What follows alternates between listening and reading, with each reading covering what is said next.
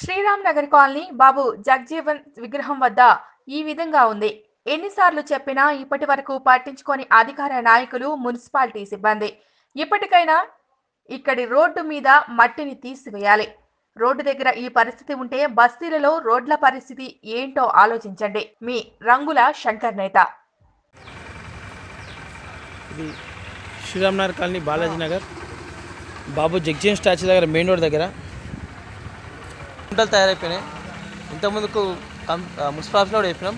దయచేసి ఏదైతే మట్టి ఎక్స్ట్రా ఇస్తారో మట్టి మొత్తం తీసారు ఇక్కడికి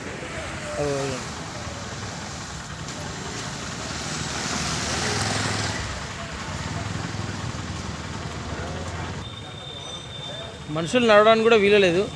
శ్రీరామ్నగర్ కాలనీ మెయిన్ రోడ్ పక్కకే. ఈ విధంగా ఉంది మన వ్యవస్థ. నడి రోడ్ పక్కకే ఇంత కుంటలుగా మారిపోయింది.